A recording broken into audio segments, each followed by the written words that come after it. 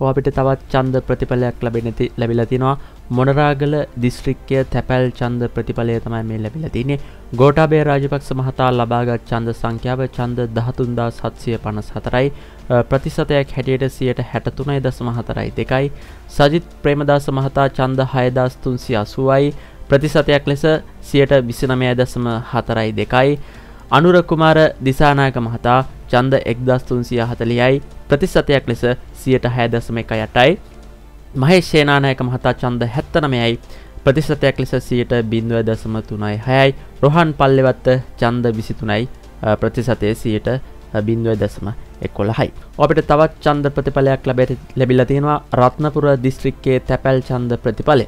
ගෝටාබේ රාජපක්ෂ මහතා චන්ද දහනාමදස් හැට එකයි ප්‍රතිශතයක් ලෙස සියට හැට පහයි දසම හතයි දෙකයි. සජිත් ප්‍රේමදාස මහතා ලබාගත් චන්ද සංඛ්‍යාව චන්ද හද්දාස් නමසිය හතලයයි ප්‍රතිශතයක් ලෙස සියට විසි හතයි දසම තුනයි හතයි අනුරුකුමාර දිසානායක මහතා චන්ද එක්දස් හයිසිය හැත්තෑ අටයි ප්‍රතිශතයක් ලෙස සියට පහයි දසම හතයි නමේ. මෙනුව ගෝටාබේ රාජපක්ෂ මහතා රත්නපුර දිස්ත්‍රික්කේ තැපැල් චන්ද ප්‍රතිඵලයෙන් ජයග්‍රහණය කරලා තියෙනවා. අපිට තවත් චන්ද ප්‍රතිඵලයක් ලැබෙති ලැබිලා තියෙනවා. ගම්පහ දිස්ත්‍රික්කේ තැපැල් චන්ද ප්‍රතිඵලය ගෝටාබේ රාජපක්ෂ මහතා ඡන්ද 30918ක් ලබාගෙන ජයග්‍රහණය කර තිබෙනවා.